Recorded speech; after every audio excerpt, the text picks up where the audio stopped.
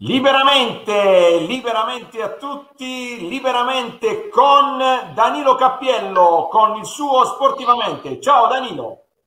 Ciao Maurizio, buonasera, ben ritrovato dopo queste due settimane di, di astinenza. Mi scuso, però purtroppo, insomma, impegni lavorativi mi hanno, mi hanno costretto ai box, dai, diciamo, ti diciamo sei così. Preso, ti sei preso le ferie pagate, dai, diciamolo così. Bene, Danilo, allora noi ritorniamo con il botto perché eh, ci eravamo fatti una promessa che dovevamo parlare di sport a 360 gradi, dovevamo dare spazio sì. a sport considerati, tra virgolette, se no gli ospiti già eh, ci, ci, mangiano, minori, e quindi stasera eh, siamo, come si dice tecnicamente, in lunetta, perché siamo con i protagonisti della vita del basket bitontino e nell'ordine come ce li ho io eh, sul monitor saluto e ringrazio per aver accettato l'invito di Danilo e il mio. Antonio Schiraldi ciao Antonio. Grazie a voi e buonasera a tutti.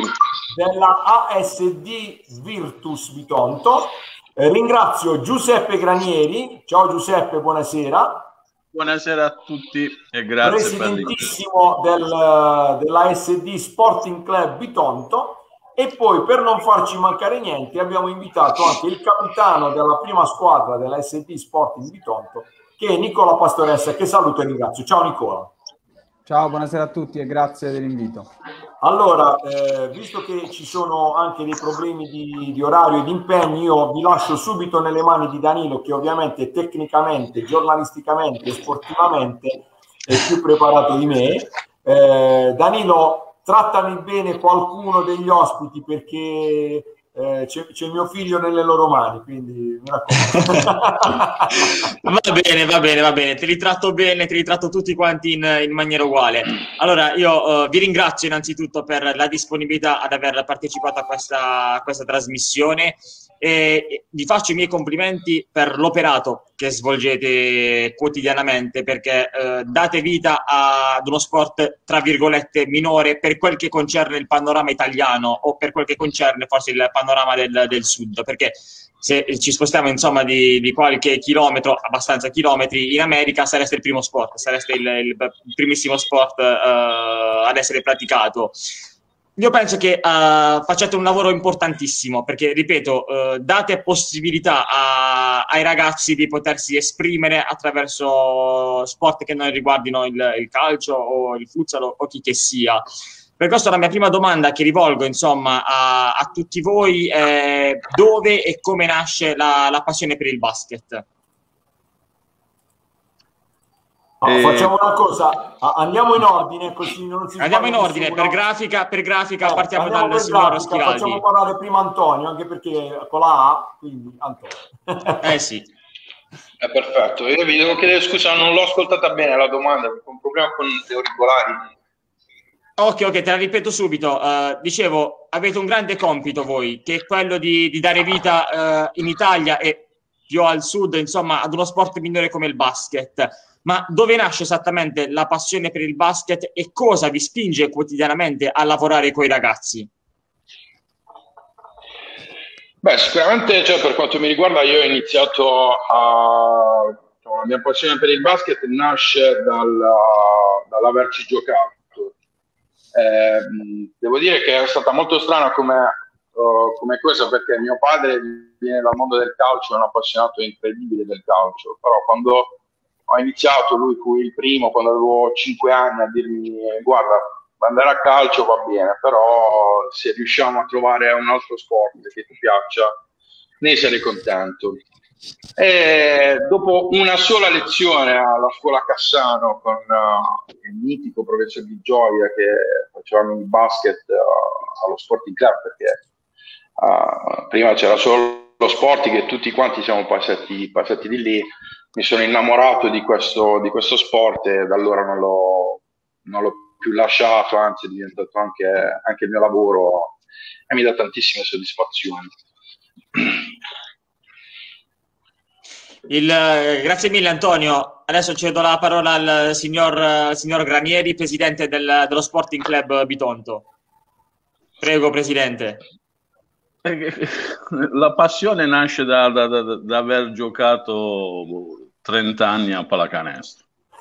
Quindi, come diceva eh, giustamente Antonio, no? tutti sono passati dallo Sporting Club e quindi mh, questa, la, l'aver giocato, l'aver vissuto eh, l'ambiente sportivo, l'ambiente del basket, non ha fatto altro poi che, come dire, in maniera, eh, come si dice, conseguenziale, aver smesso di giocare e aver iniziato a pensare a fare il dirigente in una uh, associazione sportiva e, e, non poteva che essere nello Sporting Club. Proprio per cercare di far rivivere e di ricreare l'ambiente che è sempre stato e sempre, come dire, ha, ha fatto crescere un bel po' di, di, di ragazzi eh, sia in palestra e poi con gli insegnamenti della palestra eh, portati fuori e quindi no, non per nulla il, il, basket e soprattutto il basket bitontino quanto un bel, un bel numero di atleti laureati. Quindi evidentemente gli insegnamenti portati sul campo poi hanno reso i loro benefici anche fuori, tant'è che la popolazione come dire, sportiva del basket eh, è, è, di un livello culturale abbastanza alto, considerato il numero di atleti, come dicevo prima, laureati. E quindi eh, tutta la passione la mettiamo per far sì che i ragazzi possano capire che cosa significa lo spogliatoio, capiscono che cosa significa condividere, capiscono che cosa significa aiutare gli altri, per poi eh, sperare che questi insegnamenti servano in maniera predominante nel, nella vita anche. Assolutamente sì. Adesso passiamo, passiamo, a Nicola e passiamo forse all'aspetto, insomma, quello non dirigenziale, ma prettamente per ciò che riguarda il, il campo. Nicola, cosa vuol dire essere un giocatore di basket? Eh, questa è una bella domanda. Eh, per rispondere a questa domanda parto dalla mia esperienza, cioè da come mi sono avvicinato al mondo della pallacanestro, che è un'esperienza eh, per certi versi simile a quella d'Antonio e per altri totalmente diversa, ma molto simile alle storie dei film. Perché io vengo da una famiglia di eh, sportivi che tutto praticavano meno che la pallacanestro. Papà pallavolista, amante del tennis e come tutti i bambini da piccolo eh, volevo giocare a calcio. Ho fatto due lezioni a scuola calcio, sono rimasto colpito in negativo da una serie di episodi che probabilmente fossero successi in altri giorni avrebbero avuto un'influenza diversa su di me e quindi ho virato sul nuoto e su altri sport a 15 anni, quindi relativamente tardi rispetto alla, a quelli che sono gli standard di avviamento all'attività sportiva, ho accompagnato un amico ad un allenamento di pallacanestro. L'allenatore dell'epoca, che poi è diventato il mio allenatore, mi ha coinvolto malgrado non fossi in abiti prettamente ginnici e da quel giorno non sono più uscito dalla, dalla palestra, nel vero senso del termine nel senso che ho iniziato a fare l'allenatore, il, il giocatore, ho, ci, ci ho provato più che altro, delle giovanili, poi ho affiancato all'attività di giocatore il corso da istruttore mini basket, quindi mi sono dedicato anche alla, alla formazione dei più piccoli e ad oggi continuo o, o ci provo, continuo a tentare di giocare a pallacanestro eh, perché non posso sostanzialmente farne più a meno. Quindi la risposta alla tua domanda cosa significa essere un giocatore di pallacanestro eh, potremmo starne a parlare per un'ora. Sicuramente significa praticare uno sport di squadra e quindi avere secondo me un qualcosa in più che ti rompa la monotonia della giornata lavorativa o di studio che sia e condividere un, un ambiente piacevole, alternativo a quello della famiglia e inevitabilmente poi si crea una seconda famiglia. Infatti spesso nel mondo degli sport di squadra si sente parlare di gruppo squadra, di famiglia, sono parole non usate a caso ma che sicuramente sotto hanno qualcosa di, di vero e imperscrutabile per chi c'è fuori il più delle volte. Bisogna starci dentro per capire di, di che cosa si parla. Perfetto, grazie anche a te Nicola per, per questo intervento. uh, stavamo parlando insomma di, di, sport di squadra, stavamo parlando di gioco praticato. Nella fattispecie, nella mente di un giocatore qui, scusatemi, insomma, però, siccome per una questione di orari, voglio dare un po' di priorità in più a, a Nicola. Nella fattispecie, uh, cosa si prova esattamente nell'essere in campo? Avere una, un timer che comunque ti conta i secondi, perché il basket è uno sport posato, insomma, potremmo dire fondato sui secondi, sulla gestione dei secondi. Cosa vuol dire quindi essere in campo, avere quella sorta di, di velocità di azione e di pensiero e eh, soprattutto come gestire l'ansia da sirena?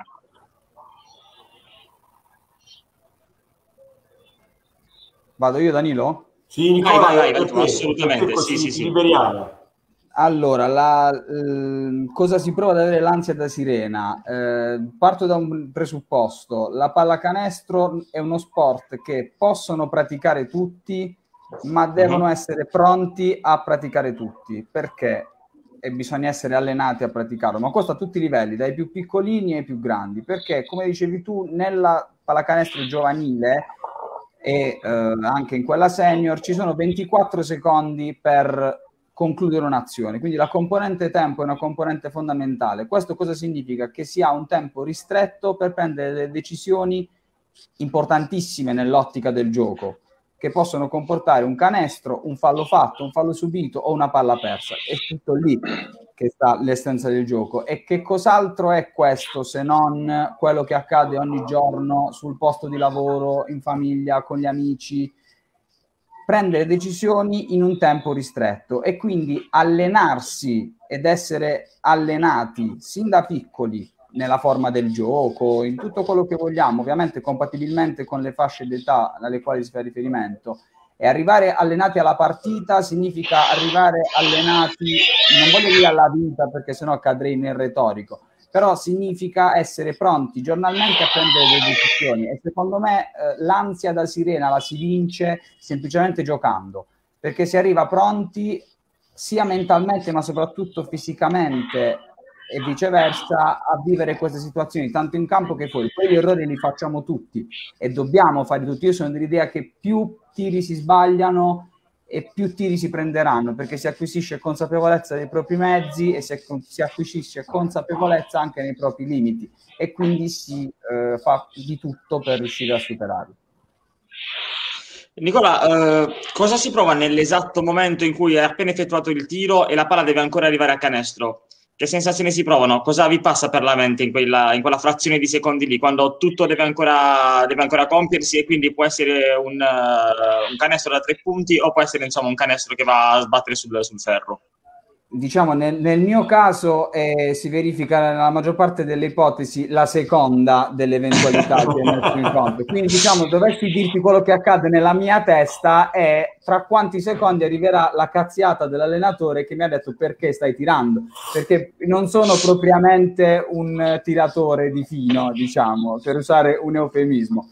Però no, venendo al al concetto sotteso alla tua domanda è sicuramente la parte più emozionante del, della pallacanestro, almeno per quanto mi riguarda. Anche chi non ha mai visto una partita per 40 minuti, se vede gli highlights o cerca dei video su YouTube, è pieno di tiri decisivi che decidono una partita in centesimi, in decimi di secondo. E quale altro sport ti dà questo tipo di emozioni? Il calcio sì, per carità, ci emozioniamo tutti nel vedere la finale di Europa League che si protrae fino al quindicesimo calcio di rigore, per carità, è un altro tipo di emozione, ma dopo 40 minuti, uno o due supplementari di una partita di basket, la parabola a sirena ormai suonata che sta per entrare nel canestro e ci sono 20.000 persone quando i palazzetti erano pieni col fiato sospeso. No, soprattutto perché... quando, quando, c'erano i palazzetti. Vi tanto che abbiamo un leggerissimo problema col palazzetto, ma ne parleremo dopo poi. Quando, quando la palla non sai se entrerà o finirà sul ferro, credo che tutto quello che ci siamo detti prima del lavoro in palestra, del lavoro psicologico, della tenuta mentale, noi lo facciamo per questo, proprio per quella frazione di secondo nella quale la palla può entrare o per uscire o può uscire dal, dal canestro. Un po' come il film Match Point per fare una, una, un parallelismo. Va bene, va bene, grazie, grazie Nicola. Allora, eh, ritorno da, dal professor Antonio Schiraldi, ma una domanda che vale anche per il signor, uh, il signor Granieri. Cosa si prova quando uh, una coppia di genitori porta un figlio per, per iscriverlo al basket? Da figure dirigenziali, voi cosa provate? Ma sicuramente un senso di, di responsabilità, perché penso che l'obiettivo fondamentale per, per le nostre associazioni sia oh, più quello di nel nostro piccolo riuscire ad essere una parte educativa del, del bambino, del, del, ragazzo. Per cui quando loro arrivano il senso di responsabilità è sicuramente, è sicuramente forte. Lo scopo di quello che facciamo è utilizzare il nostro sport per uh, riuscire nel nostro piccolo ad essere d'aiuto alla, alla comunità bitontina, sicuramente nel cercare di, di, di aiutare questi ragazzi a, a, crescere bene, a crescere bene, a crescere sani. Come diceva Nicola prima, la pallacanestro è uno sport che punta moltissimo al, al senso di squadra, al, allo saper stare insieme, al uh, riuscire nella, nella, vita quotidiana a rapportarsi con, uh, con tutti, anche in situazioni, anche in giornate magari un po' storte. Quindi mh, sicuramente l'obiettivo è quello, riuscire a avere un senso di responsabilità altissimo e riuscire ad integrare i piccoli nel, nel sistema squadra, che poi è quello che li aiuta sicuramente nel loro percorso di vita con l'organizzazione dello studio, perché magari abbiamo degli allenamenti alle 5 del pomeriggio e ci sono diverse, diverse famiglie che magari si preoccupano per uh, un allenamento in quella fascia oraria che magari spezza, il, uh, spezza lo studio dei ragazzi, però in questi anni... Andata via la connessione? Si è bloccato Antonio. Qualunque cosa, uh, diciamo, si riesce anche ad aiutare i, i ragazzi ad organizzarsi. Si è bloccato Antonio. Antonio, devi cercare di migliorare un attimo la connessione, magari prova, prova a rientrare. Sì, ora, ora mi sentite? Sì, adesso sì, adesso sì, adesso sì. Mi sentite adesso? Ok, sì, sì, sì, sì benissimo. Ho una telefonata e è andata via la connessione. Capita. Non so, non so fin dove me ne avete ascoltato. Sì, assolutamente.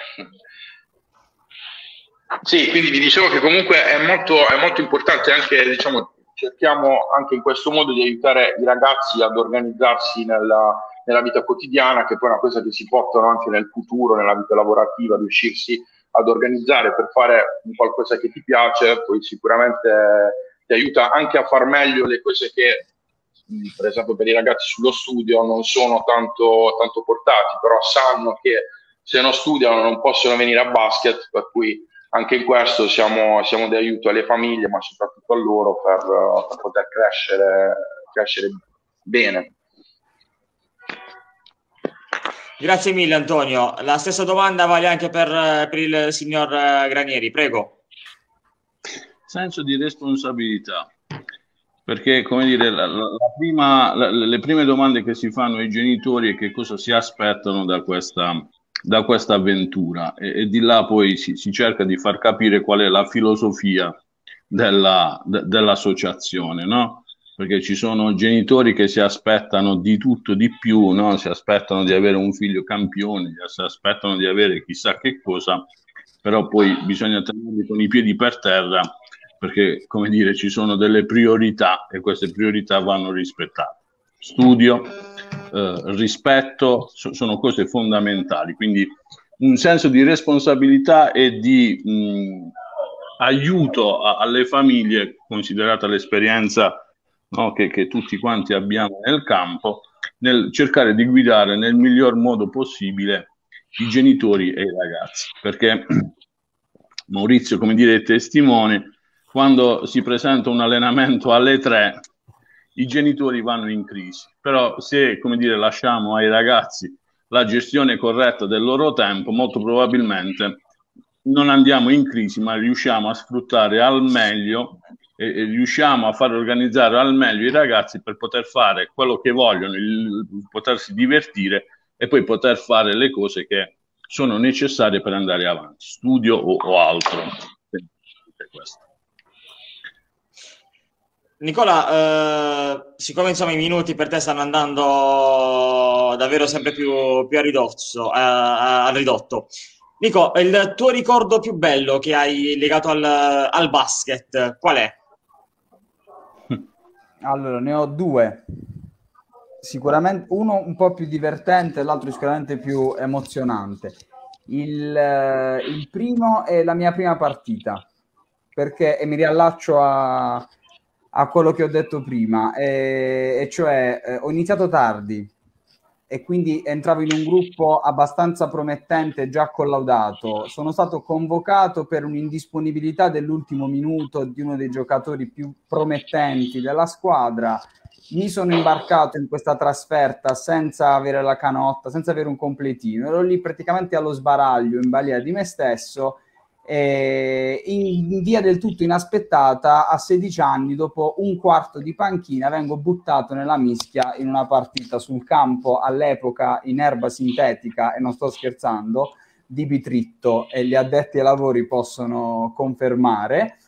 E leggermente part... scomodo e fuori norma. Sì, vabbè, non mi soffermo diciamo sull'agibilità del campo che era anche piastrellato in alcuni punti, ma diciamo il problema è stato risolto poi devo dire anni Ma i canestri c'erano o avevano messo i cerchi delle auto, dei camion? Ah, okay. I canestri c'erano, c'erano, c'erano. Vengo buttato nella mischia, la partita finisce bene, nello spogliatoio subisco una sorta di battesimo da parte di allenatori e miei compagni di squadra sul quale non mi soffermo, diciamo, per ragioni di eh, pudore. Quello invece... No, siamo in fascia protetta. Siamo in fascia protetta però, ancora. Però diciamo dalle espressioni sia di Antonio che di Giuseppe che diciamo ci sono passati, so che loro sanno di cosa sto parlando, quindi vedo delle espressioni compiaciute sui loro volti. Eh, quello sempre quel senso di squadra, diciamo. Eh. Esatto, esatto, esatto, è una delle declinazioni del, del senso di squadra. E eh, l'altro canestro un po', eh, cioè l'altro canestro, scusate, L'altro momento un po' eh, più emozionante, ma in senso negativo se vogliamo, è un po' più fresco ed è legato alla finale promozione persa contro il Carovigno in casa, mh, la penultima stagione. Eh, andammo a giocare a Carovigno, persa gara 1, torniamo in casa, eh, perdiamo tre giocatori per tre espulsioni più o meno discutibili e eravamo spacciati. Arbitraggio alla Byron Moreno, diciamo. Eh, sì, se fosse stato Salentino, Byron Moreno probabilmente sì, ma comunque, malgrado ciò, a due minuti alla fine eravamo sotto di 18, recuperiamo questi 18 punti in 5 giocatori contati senza rotazioni, perdiamo all'ultimo tiro e qui torniamo allo stesso discorso di prima l'ultimo tiro va dentro, ci andiamo a giocare gara 3 di nuovo in trasferta per vincere il campionato, l'abbiamo perso e finita, però alla fine della partita nessuno si è rimproverato nulla, molti piangevano, molti erano distrutti, però noi gio- entriamo in campo anche per questo. Belle o buone sono comunque emozioni, così come quelle delle partite vinte, anche arrivare a giocarsi queste partite sono sicuramente momenti per i quali ci alleniamo tutti i giorni, anche dopo giornate di lavoro e di studio. Danilo, grazie, grazie mille, Nicola. Vai, vai. C'è un intervento, penso che eh, Giuseppe e Nicola sicuramente lo conoscono, non so se Antonio conosce. No, Dario lo conosce, lo conosce benissimo anche eh, Antonio. Vedi? Che è intervenuto due volte. Lo conosco benissimo, dopo... purtroppo. Eh, lui, lui, era uno di quelli che nello spogliatoio, diciamo, detta le gerarchie. Ah, ho capito, ho capito. No, ma, eh, Dario, io l'ho, l'ho, visto in campo e, e mi manca vederlo.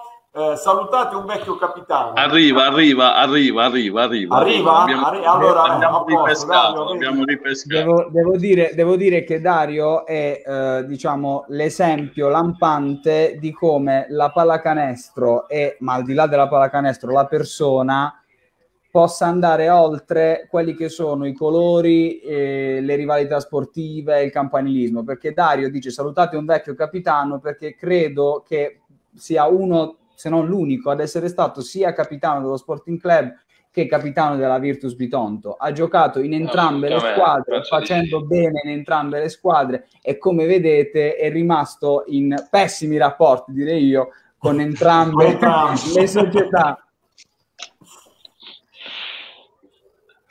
Grazie mille, grazie, grazie Nicola. Vai, vai, so che, co, cosa, cosa, ne pensi ovviamente da giocatore, però l'eleganza di Dario in campo si, si vede. Cioè, eh, non mai, solo... quando aveva, mai, mai quando aveva fiato, campo, sì. Diciamo. Quando aveva fiato, sì. Ah, aveva fiato. Okay, okay. Diciamo, non l'avete visto sfoggiare i suoi outfit d'allenamento con 75 colori abbinati, quindi io prima di parlare di eleganza rifletterei Vabbè, io parlavo di eleganza atletica, no, no, diciamo ah, eleganza... Io no, non posso esprimermi, non posso esprimermi. Vai Dario, scusa, eh, scusa, Danilo, Dario. Abbiamo appena parlato insomma di un, uh, di un, giocatore che ha vestito entrambe le casacche, abbiamo parlato di rivalità e di campanilismo. Uh, per questo insomma uh, cedo la parola al, al signor Schiraldi per parlare un po' di questa tra virgolette, rivalità sportiva fra, fra Virtus e Sporting. Quando c'è stata, come è stata viverla e soprattutto eh, una rivalità è motivo d'odio o è più motivo di stimolo?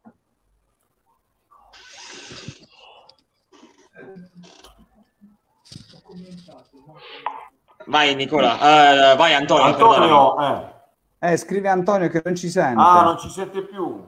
Come mai? Aspetta, Forse deve provare a rientrare, magari esce e rientra. Aspetta che glielo scrivo. Sì. Allora, beh, comunque Maurizio, uh, onde evitare insomma, di perdere dei minuti, uh, posso, fare la parola, posso, fare la domanda al, al signor uh, Granieri. Quindi, insomma, se vuole può andare tranquillamente lei. È un motivo di stimolo sicuramente, un motivo di stimolo perché così come in tutti gli sport, oggi vinci, domani perdi. Dipende da da come è stata costruita uh, la squadra in quella determinata stagione. Quando ci sono stati i derby in promozione, sono stati, come dire, avvincenti perché avevamo, era l'unico momento che avevamo uh, la palestra gremita, ma gremita uh, sul vero senso della parola, da, da, da, da tutti i nostri ragazzi. E quindi, come dire, eh, chi vinceva o chi perdeva, lo spettacolo era assicurato. Perché, ripeto, dipende da come allestisci la squadra. Quindi, se allestisci una squadra, se in quel momento stai allestendo una squadra per far crescere i ragazzi, il punteggio finale, come dire, è quasi scontato.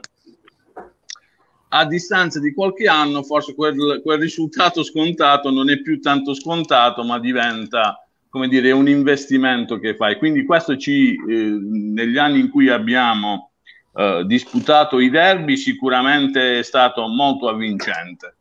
È avvincente anche per quanto riguarda le giovanili, è sempre lo stesso discorso, quindi è, poi bisogna capire qual è la filosofia, perché come dire, se la prima squadra la, eh, la si fa per cercare di vincere il campionato, cercare di far crescere i ragazzi che ormai sono fuori dalle giovanili, per avere un'ossatura e una squadra che possa restare, possa essere fatta da bitontini, perché l'obiettivo almeno dello Sporting Club era quello di, è quello di avere una squadra fatta da bitontini, non la maggior parte del, del, del, dei giocatori, e prendere da fuori, così come sempre è stato, no? da, da, da, 40, da 45 anni, andare a prendere da fuori due o tre giocatori che eh, facessero, potessero far fare il salto di qualità. Discorso delle giovanili, stessissima cosa quando ci sono stati i derby, ovviamente anche lì c'era da, uh, da divertirsi perché come dire, è, è, stimolante vedere la crescita dei ragazzi o la regressione dei ragazzi. E quindi come dire, uno degli ultimi i derby è stato veramente interessante dal punto di vista come dire tecnico. E quindi non può che essere eh, motivo di miglioramento e motivo di, come dire, una, una sorta di eh, sprono a, a, a, far sempre meglio.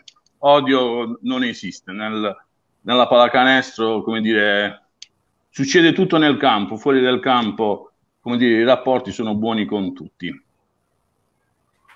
Grazie Danilo, io farei, farei, parlare Flash, con il permesso di Antonio Schiraldi, farei parlare Flash eh, Nicola perché sono sì, le 20 assolutamente, sappiamo che assolutamente. solo per quello. Assolutamente. Vai Nico.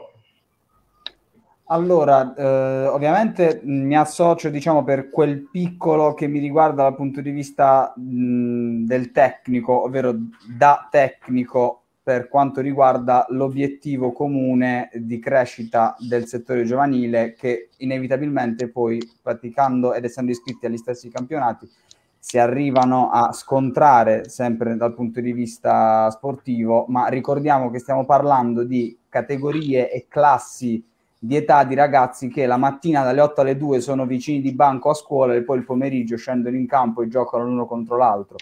Quindi la rivalità fino a un certo punto, nel momento in cui si indossa la casacca di una squadra diversa, è ovvio che tutti e due scendono in campo per vincere, ma quando se la tolgono tornano a essere compagni di scuola o vicini di casa e ci sono, eh, diciamo, eh, esempi che possiamo portare da una parte e dall'altra dove queste cose eh, succedono, ma se vogliamo è anche il bello e lo stimolo eh, della pallacanestro. Da giocatore invece è un altro conto, eh, diciamo parlo adesso da giocatore, da capitano e, e negli annali che storicamente siamo in svantaggio dal punto di vista dei derby vinti e per eh, le ragioni di cui parlava prima il presidente, di cui sicuramente poi darà atto Antonio dopo.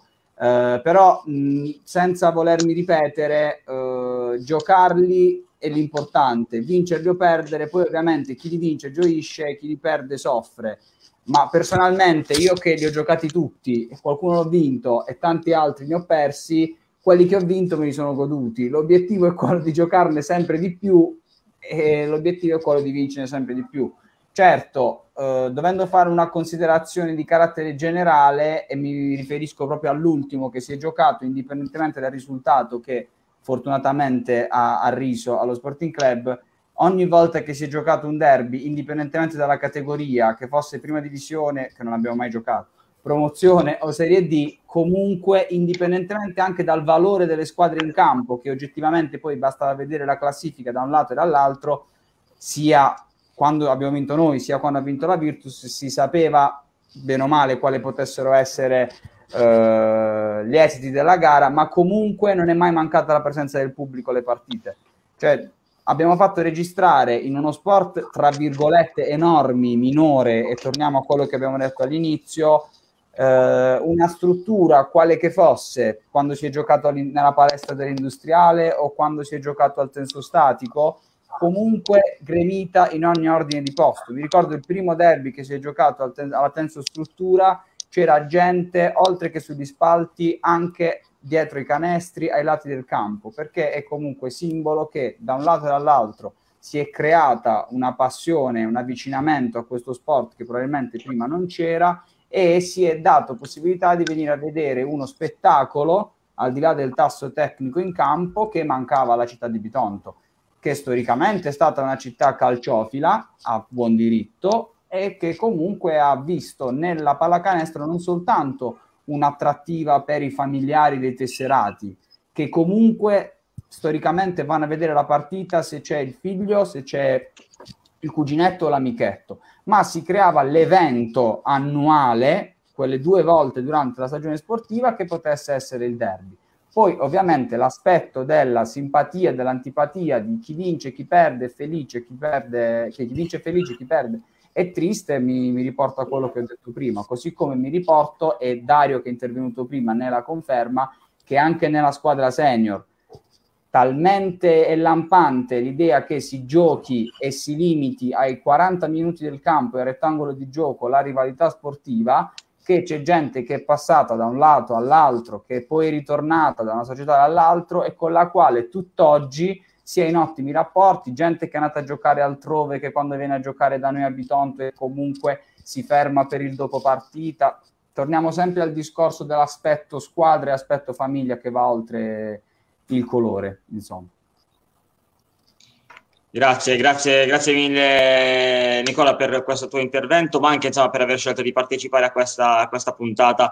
Noi ti congediamo giustamente insomma, i tuoi impegni lavorativi e ti ringraziamo ancora una volta insomma, per, per, averci portato la, la, tua testimonianza dal punto di vista davvero del, del campo, dal punto di vista agonistico, dai, diciamola così. Grazie a voi e scusate se non posso trattenermi fino alla fine. No, Nicola, io devo salutarti con parole non mie, ma è intervenuto Francesco Cariello che dice Nicola Pastoressa, rappresentante dello sport di Tontino. Troppo sarà un po' rappresentante, fan, rappresentante non eletto. Non eletto.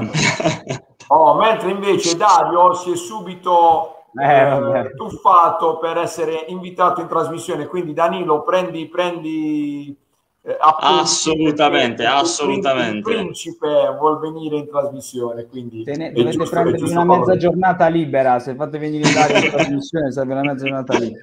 Oh, Danilo, poi io ti voglio dire che noi Nicola lo dobbiamo congedare perché eh, Nicola è anche quello che si occupa dei, dei messaggi sui, sulle, sulle varie chat WhatsApp, quindi sicuramente adesso dovrà dare indicazioni per qualcosa eh, de, del fine settimana, vero Nicola? Per il tampone di domani, per ah, il tampone, il tampone di domani. In primis, in primis per il tampone di domani delle giovanili e poi il calendario gare del fine settimana, perché venerdì e domenica l'Under 15 ha un doppio impegno e quindi se non facciamo in trasferta venerdì e domenica in casa, il protocollo FIP prevede un tampone entro 48 ore prima della gara, quindi va fatto il tampone domani stessa prima della partita e poi ripetuto per domenica. Quindi adesso corro a informare i genitori sui gruppi WhatsApp.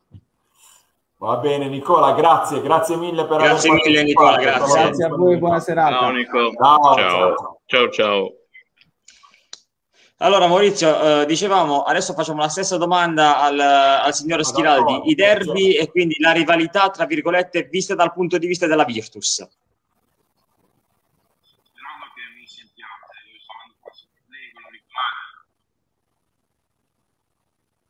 Antonio, ti sentiamo malissimo, ti sentiamo.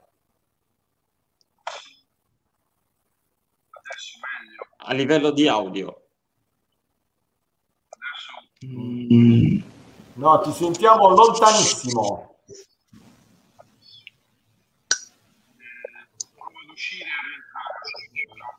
Eh, prova ad uscire e rientrare, magari se vuoi... Prova ad uscire e rientrare. Se vuoi utilizzare la, il microfono ambientale, o al massimo, Antonio, se hai un cellulare con degli auricolari, insomma, utilizza il, il cellulare. Sì, sì, sì, arrivo subito. Ti aspettiamo. Grazie mille, grazie. Uh, Giuseppe, posso darti del tu? Certo, certo. Uh, hai appena, hai appena, insomma, pochi minuti fa in trasmissione hai detto che sei un ex giocatore con uh, anche una bella carriera alle spalle. Uh, che ricordo porti di, di, di, te giocatore e soprattutto, insomma, in quanti ragazzi ti rivedi, in quanti ragazzi vedi un progresso a livello, a livello insomma, eh, generazionale e in quanti invece vedi un regresso sempre per lo stesso motivo. Giuseppe, se, se, mi permetti, io aggiungo una cosa. Siccome io me lo ricordo come giocatore, per quanto io di basket ne capisco quanto di, quinti, di, di fisica quantistica, e, e, siccome ho mandato il link in giro per il mondo per la diretta, Giuseppe, mi sa che ti conviene salutare anche qualche eh, ex tuo eh, amico, di, eh, amico, di, squadra che sarà in giro per il mondo. Eh, ne, ne, abbiamo tanti di amici di, di, di eh. squadra, ne abbiamo tantissimi. No? Vabbè, in, realtà, questa... in, realtà, Giuseppe, poi permettimi una parentesi seria. Eh, magari salutiamo anche con un caloroso abbraccio Mimo Palermo, che oh. è, stato, eh, è, stato, colpito da, da un lutto eh, in questi giorni, okay. quindi gli siamo vicini, però Ciccio, erano praticamente Ciccio. inseparabili Giuseppe e Mimmo. Ciccio e, e, Ciccio, un abbraccio a Ciccio, un abbraccio a Ciccio Palermo.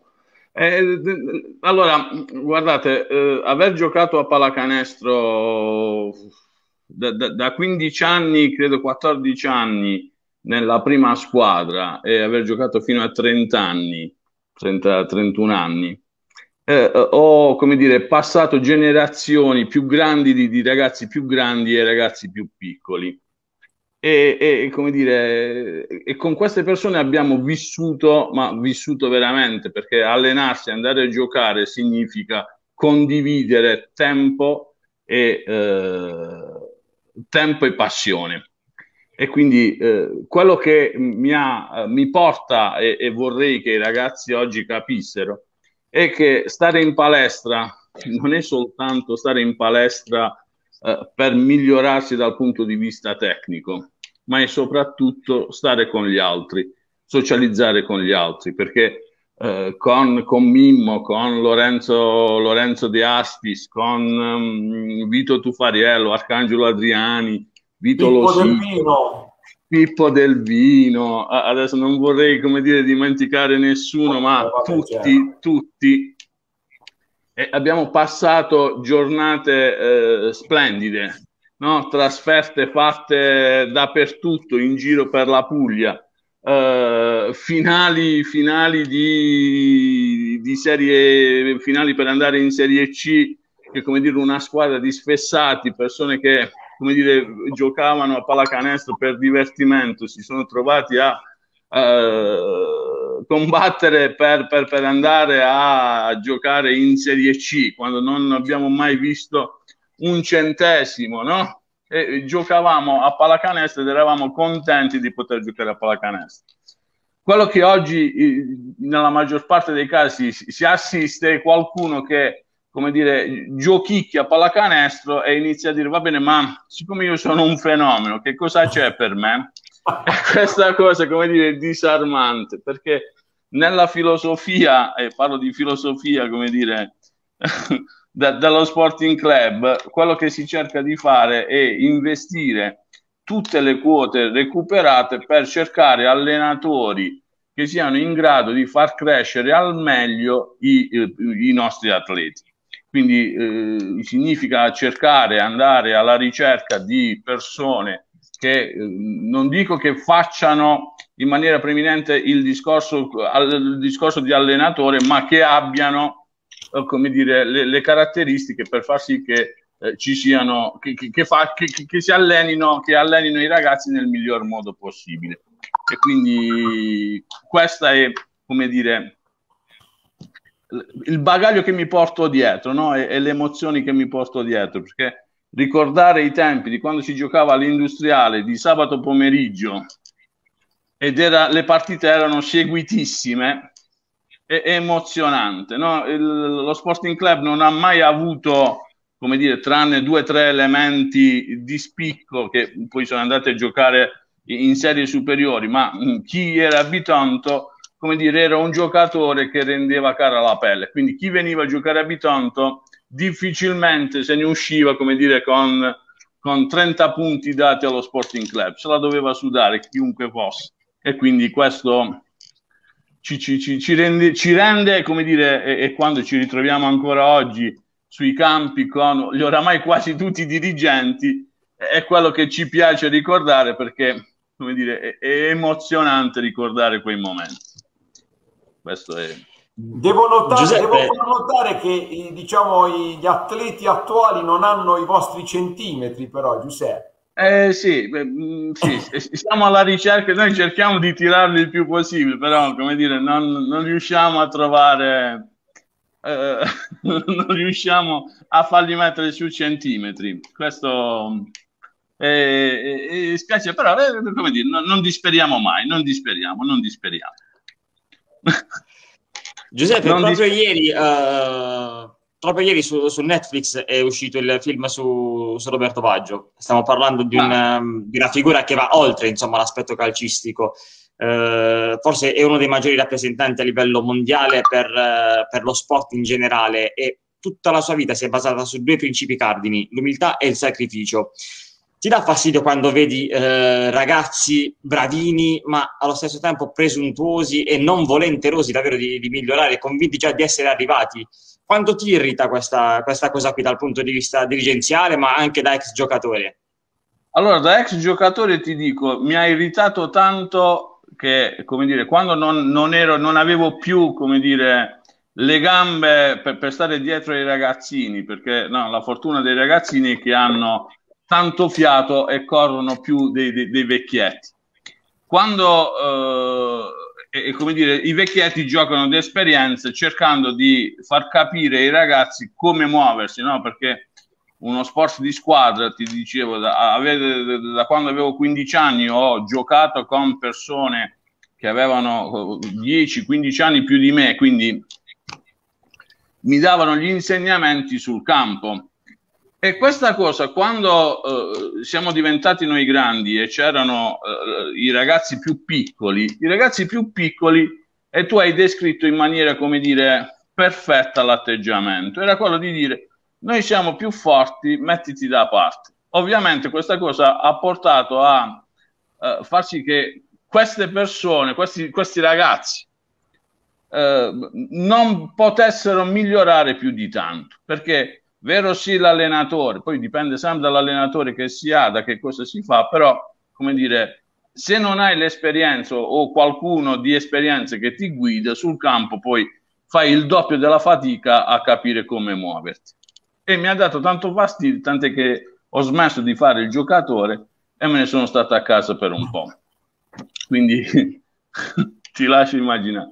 Adesso che faccio il dirigente, quando c'è qualcuno del genere, dico preferibile che, and- che andate da qualche altra parte a giocare perché non, interessa, non mi interessano queste persone, non mi interessa questo tipo di giocatori, perché poi eh, l'esperienza ci dice che questi giocatori a un certo punto smettono di essere giocatori, smettono di entrare in campo, smettono, spariscono. e quindi è verissimo, è verissimo. Non serve a nulla.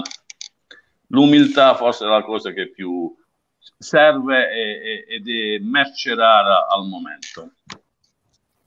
Stessa domanda rivolgo, rivolgo a te Antonio, uh, raccontaci uh, brevemente i tuoi trascorsi da, da giocatore, uh, raccontaci insomma se ti rivedi in qualche ragazzo attuale e cosa ti dà fastidio delle generazioni attuali. Spero, spero mi sentiate adesso, forse un po' male, sì? ma spero mi sentiate. Ok. Va bene, sei con ritardo, ma ti sentiamo, dai. Okay. Mi, mi, volevo solo riagganciare prima alla questione, alle questioni derby. Eh, secondo me i derby in questi dieci anni sono stati degli eventi sportivi per la nostra città incredibili.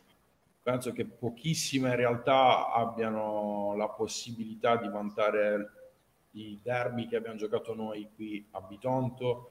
Tantissime volte gli arbitri che sono venuti ad arbitrarci sono rimasti sbalorditi da quello che stava, che stava succedendo perché per le categorie uh, diciamo, in cui abbiamo disputato i derby erano, c'era tanta di quella gente che era fuori dalla, dalla normalità per, per, quelli che sono stati i, i, campionati. E devo dire che sicuramente i derby ci hanno, hanno aiutato, penso, entrambe le, le società a uh, farci conoscere di più sul, sul nostro territorio per noi era importante la prima squadra e che la prima squadra avesse risultati perché all'inizio della nostra attività noi siamo un'associazione che da 12 anni fa, fa attività, per cui all'inizio quando abbiamo, abbiamo iniziato avevamo bisogno di una vetrina che ci permettesse di farci conoscere al, a tutte le persone di Bitonto e utilizzammo la, la, prima squadra e anche il costruire delle prime squadre molto, molto competitive proprio per farci conoscere il più possibile. Però l'adren- l'adrenalina del derby io li ho vissuti sia da giocatore che da, che da dirigente, sono stati qualcosa di, qualcosa di bellissimo, per quanto magari per, uh, per la gente che ci è venuta a vedere stare all'ITIS in 300, 350, anche 400 alcune volte era un, un problema.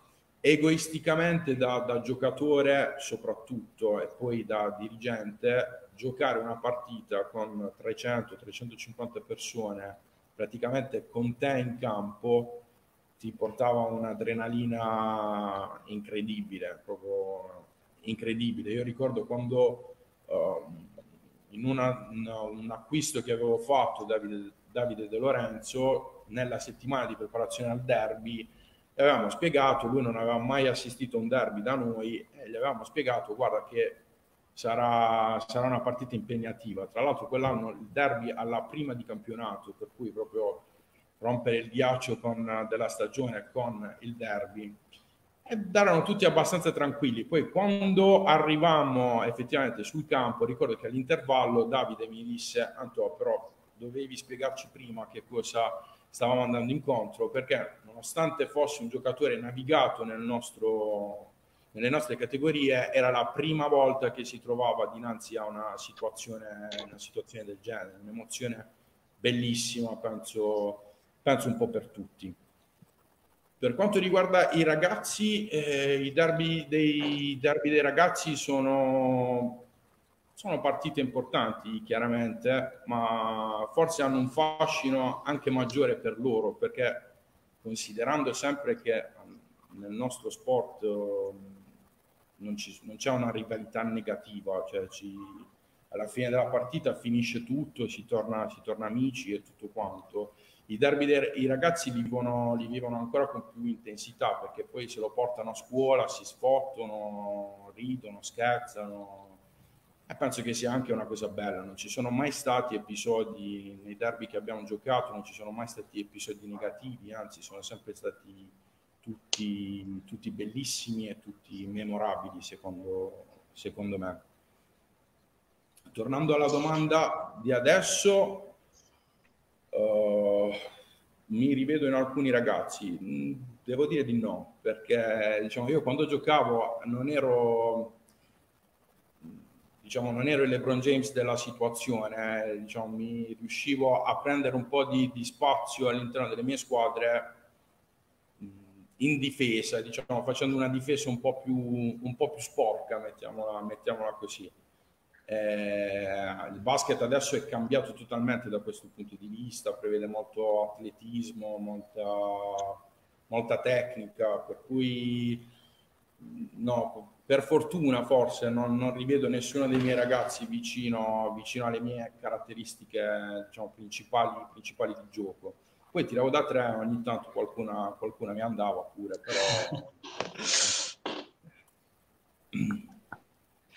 Ragazzi, l- stiamo andando in, in, in, chiusura e quindi insomma mi preme farvi questa, questa domanda. Si parla di, gio- di, campo, di giocate, tiri da tre, tiri liberi, tiri da due e molto spesso la gente, chi guarda da fuori, vede solamente quello.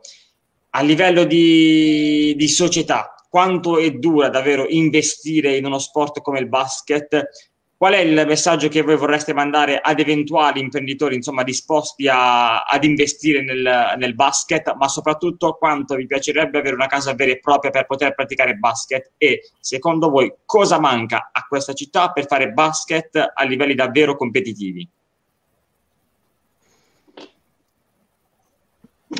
Cosa manca? manca mancano i soldi del calcio. Semplicemente questo. Basta perché come dire, eh, noi possiamo, parlo, parlo per lo Sporting Club, possiamo investire sui ragazzi, fare accordi con società vicine, ma eh, per fare il salto di qualità abbiamo bisogno di centimetri, no? quello che diceva prima Maurizio. Per cercare i centimetri bisogna andarli a comprare fuori. Quindi se si vuole fare un qualcosa di competitivo servono i soldi. Servono i soldi e serve una struttura, come dire, a disposizione della pallacanestro. Noi ci auguriamo, io mi auguro che eh, il calcio femminile possa portarci, come dire, eh, più ossigeno dal punto di vista di strutture. Io me lo auguro, mi auguro sia questa la, eh, voglio leggerla in questo modo, no? avendo una squadra di calcio femminile in Serie A, io mi auguro eh, ci sia la volontà da parte degli amministratori di avere una struttura degna di una Serie A e quindi, eh, come dire, noi eh, ci accodiamo a, a questa cosa in maniera tale da poter sfruttare anche noi una struttura adeguata per giocare a pallacanestro. Questo è, è quello che serve. Perché noi quello che possiamo fare, andare alla ricerca di allenatori che facciano crescere le giovanili, partecipare ai campionati, come in quest'anno, in quest'anno particolare, dove stiamo partecipando ai campionati under 13, under 14, under 15, under 16, eh, come dire, eh, più di questo non possiamo. E quindi gli altri dobbiamo cercare, gli altri, come dire, eh, gli altri punti dobbiamo cercarli fuori e quindi trovare qualcuno che ci dia una mano dal punto di vista economico e qualcuno che ci dia una mano dal punto di vista delle strutture. Vai Antonio. Sì, sono, sono, quasi del tutto d'accordo. Sicuramente i soldi, i soldi del calcio sono quelli, ce li sogniamo. Anche la metà, anche la metà dei soldi del calcio ci, ci, andrebbero, ci andrebbero, più che bene. Eh, sì, perché comunque penso che negli anni il percorso delle giovanili stia portando, stia portando risultati anche importanti dal punto di vista numerico, per cui diciamo, abbiamo, le, le, abbiamo, gli elementi per poter allestire, uh, allestire, delle prime squadre con gran parte dei giocatori della nostra città. Ci mancano i soldi, ci mancano i soldi per andare a prendere quelli, quei 3-4 elementi che inevitabilmente servono in tutti, in tutti i roster che ti permettono di, di fare quel salto di qualità o comunque di avere una stabilità nei campionati nei campionati che, che, giochi. Noi abbiamo fatto una Serie D vincendo, venendo da sei anni di, di promozione con playoff e rinunci- praticamente rinunciando a salire in Serie D sempre all'ultimo. Poi un anno dopo che è arrivato il Borsellino siamo riusciti a vincere questo benedetto campionato. Ci siamo ritrovati in Serie D che quell'anno era il secondo campionato regionale perché non c'era la C-Gold ancora, quindi c'erano solo C Silver e Serie D. Ci siamo ritrovati in Serie D ad affrontare squadre che mettevano a terra 100-150 mila euro per una stagione, con noi che mettevamo a terra il completino e neanche il borsone, il completino e, e la tuta. Il completino Quindi, e la pizza post allenamento. Sì, esatto, sì, sì, il completino e la pizza il venerdì eh, abbiamo, fatto, abbiamo fatto una Serie D così dinanzi a delle squadre veramente molfetta che prese Macernis che veniva dalla Serie A lituana che lo siamo ritrovati contro ci siamo ritrovati contro Mimmo Moriena che è storico, storico giocatore di pallacanestro italiano ce lo siamo ritrovati contro insomma eravamo veramente in un, in un oceano dove non avevamo proprio le possibilità economiche di, poter, di poterci stare per quanto riguarda le strutture, sì, cioè, abbiamo, abbiamo, bisogno di una, casa, di una casa tutta nostra, però penso anche che in generale tutto lo sport di questa città sia cresciuto negli ultimi, negli ultimi anni di molto.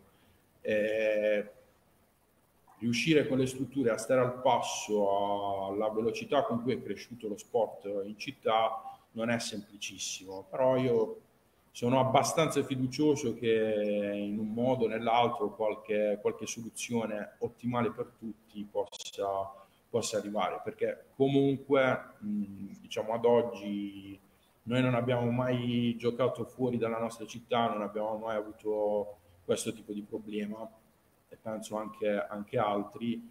Sicuramente ci manca una casa per poter dire questa è la casa del basket in città, però diciamo, non è proprio, non è proprio buio il, uh, il momento. Ecco. Ragazzi, perdonatemi la domanda, la domanda scomoda. Avete mai pensato di fondervi, di fare una sola società, investire insomma eh, quel poco che c'è da una parte o dall'altra e tentare di fare qualcosa di importante? È un'ipotesi che prendete, prendete in considerazione per un eventuale futuro? Uh, che prendereste? Io, io su questo rispondo anche a una domanda di Maurizio che ha fatto, penso, più di un anno fa uh, in una sua trasmissione uh, all'assessore Nacci. Ero in treno, stavo andando a vedere le, le finali di, di, Coppa Italia a Pesaro, proprio prima della pandemia, e Maurizio fece la stessa domanda all'assessore. Uh, io penso che il, avere due società in città abbia aiutato moltissimo a far crescere la pallacanestro, perché prima che arrivasse la Virtus e prima che arrivasse questa dirigenza dello Sporting, perché quando noi abbiamo fatto la Virtus non, non c'era questa dirigenza, c'erano altri dirigenti, e in quel momento nel 2009 mh, lo, la, la, pallacanestro bitontina non era quella di adesso, oggettivamente. E non era neanche quella di dieci anni prima, quando c'era il generale Rella che uh, stato lo storico presidente e fondatore del, dello Sporting. Io penso che il, uh, abbia aiutato molto la crescita della pallacanestro il fatto di avere due realtà che si dovevano confrontare inevitabilmente, perché quando hai concorrenza sei costretto ad alzare, ad alzare l'asticella e a progettare di più, ad avere sempre più idee, perché non ti puoi mai fermare, perché altrimenti c'è chi ti sta accanto che, che ti arriva. No? Eh, in questi anni ci abbiamo provato, devo dire la verità, ci abbiamo provato più di più di una volta a, a fare qualcosa, far qualcosa insieme. Non, ci siamo mai, non l'abbiamo mai concretizzata per, penso per dettagli, sinceramente, perché comunque non è molto distante, diciamo, le idee che abbiamo non sono così distanti come magari in passato, però non ci siamo ancora riusciti. Mm, è una cosa che io personalmente non escludo che possa succedere in futuro, però mm, ad oggi ci abbiamo provato ma non ci siamo, non ci siamo ancora riusciti. Giuseppe?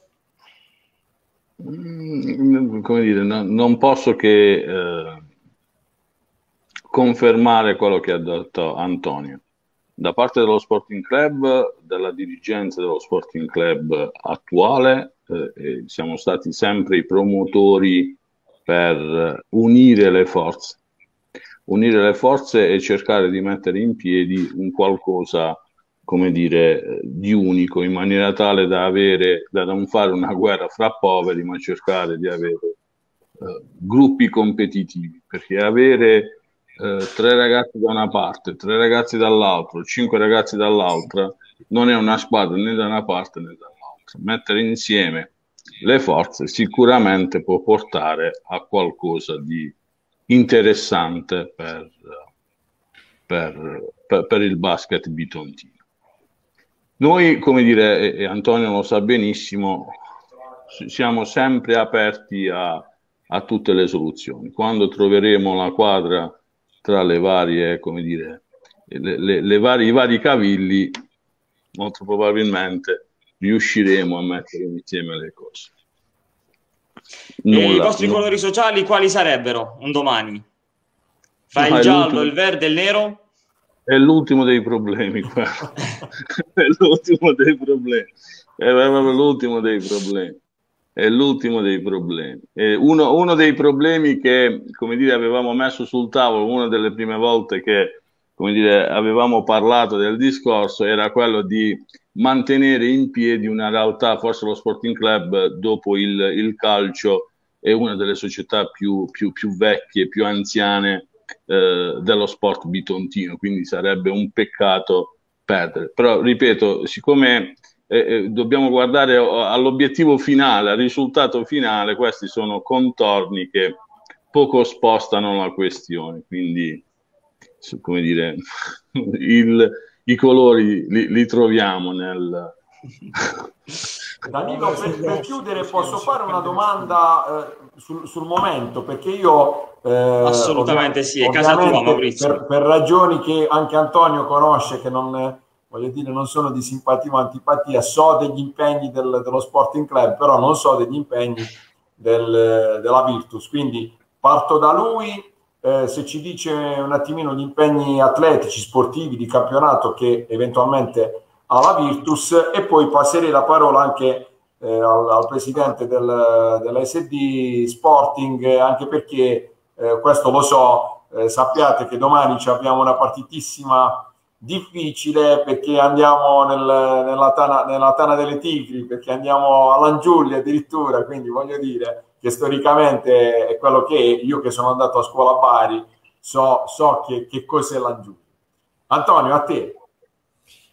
Allora, al momento noi non abbiamo attività, um, attività federali in, uh, diciamo, non stiamo partecipando attivamente a nessun campionato Oh, è stata una scelta francamente non uh, mia personale o comunque non del mio staff personale, ma abbiamo tutti i gruppi giovanili che si stanno allenando, compreso il mini basket. Non ci siamo mai fermati neanche durante la pandemia, facendo attività all'aperto, perché era l'unica cosa che si poteva fare qualche mese fa. Abbiamo sistemato i campetti del, i campetti del Rossiello e tra il campetto mini basket e il campetto basket abbiamo tutte, tutti i nostri gruppi che si allenano, quindi dai bambini dei 5 anni fino, uh, fino all'under 18.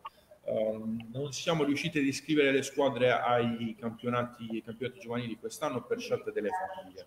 Le abbiamo, le abbiamo consultate, non se la sentivano di prendersi questo rischio, nonostante i protocolli federali, devo dire, sono abbastanza rigidi e abbastanza funzionali. Anche Confermo. Perché, sì, perché cioè, io l'ho vissuto in prima persona. Ripeto, noi non ci siamo mai fermati, non la fortuna di, di avere queste squadre di interesse nazionale, per cui abbiamo continuato gli allenamenti e tutto, e il protocollo ha retto, ha retto benissimo, non ci sono stati contagi, anche se qualcuno purtroppo si è ammalato, però grazie al protocollo non l'ha riportato ai suoi compagni di squadra, è un protocollo che funziona. Però ho compreso pienamente anche condiviso il, il pensiero delle famiglie che non se la sono sentita in questo momento, anche perché quando dovevamo scegliere se partecipare o no eravamo in piena zona rossa eh, con una situazione a Bitonto veramente tragica. Per cui le famiglie ci hanno bloccato, ci hanno detto di no, preferivano aspettare qualche, qualche altro mese, sperando che da settembre possiamo tornare più o meno alla normalità. Eh, per cui abbiamo deciso di continuare, cioè comunque tutte le nostre attività stanno funzionando, dai più piccolini, del settore giovanile, tutti si stanno allenando, però non abbiamo preso parte ai, ai campionati federali quest'anno. Ci rifaremo quest'estate, stiamo programmando un po' di, di tornei estivi in giro per l'Italia. Eh, riprenderemo di là diciamo, l'attività puramente agonistica, aspettando la nuova stagione, sperando di poter tornare più o meno alla normalità. Presidente, invece lo Sporting, dove, dove ci porti nel fine settimana? nel fine settimana andiamo all'Angiulli con l'Under 15, come dire, ritorniamo dopo venerdì scorso, abbiamo giocato venerdì scorso con l'Angiulli Under 16 e abbiamo portato a casa il risultato, quindi diciamo che la prima è andata bene. Eh, venerdì, domani andiamo di nuovo all'Angiulli Under 15 e domenica giochiamo di nuovo under 15 contro Barletta. Uh, in quindi casa, camp- virgolette, in casa fra virgolette proprio per mi, mi, mi, mi, aggancio alla risposta alla domanda di prima no? fusione o non fusioni abbiamo in atto un progetto con la Marlu Santo Spirito l'associazione, un'altra associazione uh, di basket e mettendo insieme le forze perché come dico come dicevo prima, come dire, siamo aperti e, e a alzare la qualità mettendo insieme più ragazzi. Quindi con la Marlo ci siamo divisi i campionati e partecipiamo ai campionati federali quest'anno under 13, 14, 15, 16 e parteciperemo poi a tornei con i ragazzi della D eh, nelle prossime settimane. Quindi eh, i nostri genitori hanno, come dire, a differenza dei, dei genitori della Virtus, eh, hanno, come dire, di comune accordo con noi, abbiamo stabilito un protocollo ancora più rigido rispetto a quello della FIP. Quindi tutti i nostri ragazzi da febbraio scorso eh, si sottopongono settimanalmente a un tampone in maniera tale da come dire, stare tranquilli e sereni e quindi eh, ovviamente questo è stato un, un, caposaldo per poter poi continuare a fare allenamenti e dare la disponibilità alla federazione per poter partecipare ai campionati.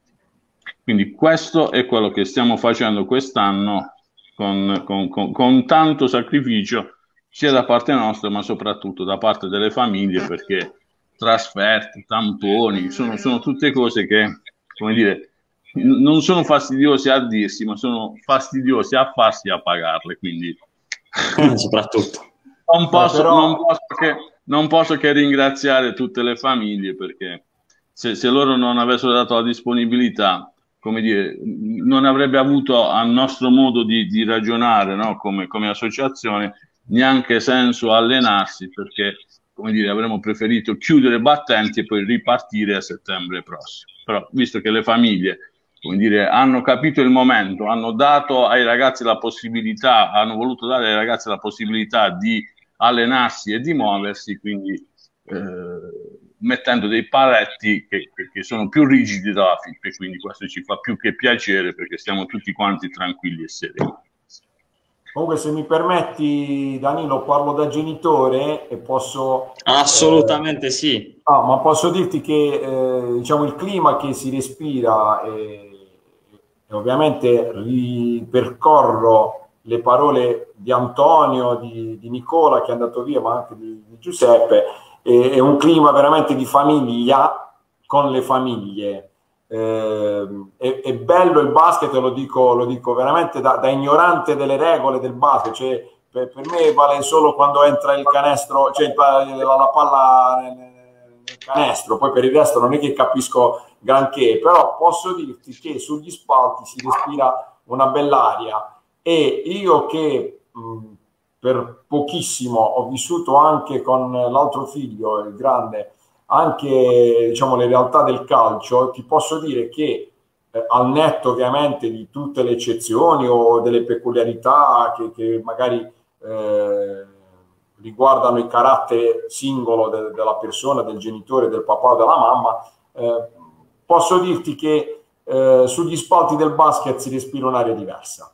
Eh, I genitori, almeno quelli che conosco, ma mh, guarda, eh, siamo andati a vedere una partita in trasferta ad Altamura e, e, le cose erano valide sia per noi che per i genitori altamurani.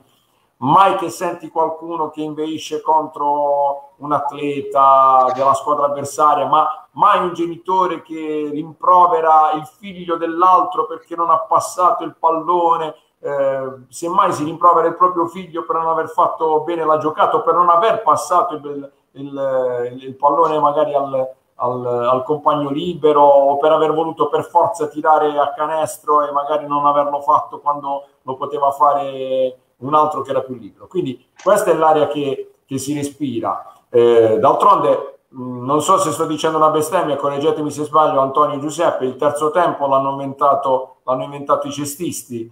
E, e, e voglio dire, e, e, si rispetta e ti posso garantire che è vero che quando c'è la sirena finale eh, non esistono più le, le, maglie diverse, non esistono più gli atleti diversi, non esistono più i genitori de, degli atleti che, che, fino a due secondi prima se l'erano andati in campo.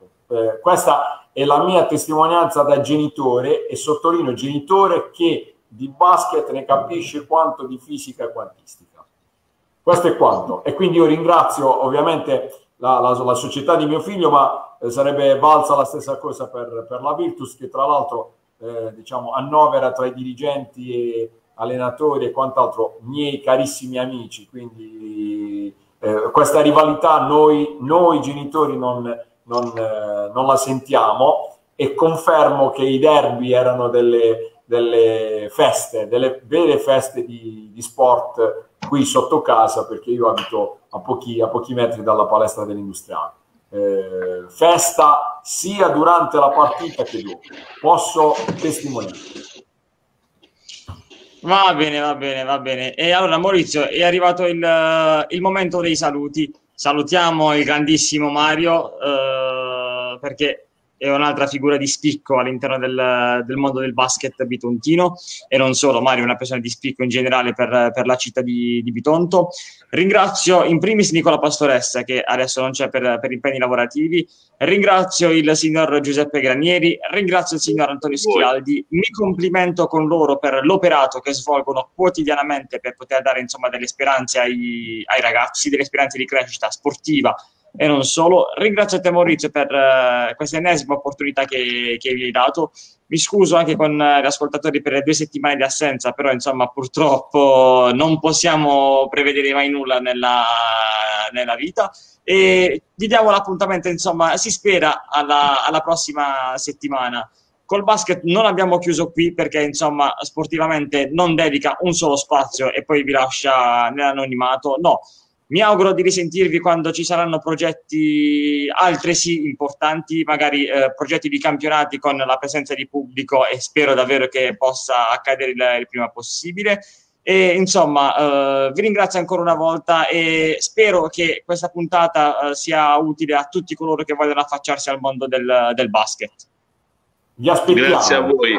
Grazie, Grazie a voi. E Grazie. comunque io, io, chiudo sempre con eh, Danilo, noi siamo qui a liberamente, quindi se si chiama liberamente non abbiamo nessun vincolo di palinsesto, eh, laddove possiamo le trasmissioni le organizziamo con cadenza, laddove non possiamo, ma non per colpa nostra, ma perché vogliamo offrire un servizio che, che ne valga la pena, come penso stasera, perché sia stata una bella puntata, tra l'altro testimoniata dal fatto che eh, si è parlato del, del, pallone arancione con entrambe le, le, società sportive bitontine, quindi quando la, la, organizziamo, la organizziamo perché debba essere di qualità. Quindi quando non, c'è, non ci vedete sì. è perché eh, vuol dire che dovremmo venire... Di qualità non ce n'è. Esatto, ad arrabattare eh, un'ora di, di trasmissione e noi non ce la sentiamo. Quindi questo è quanto.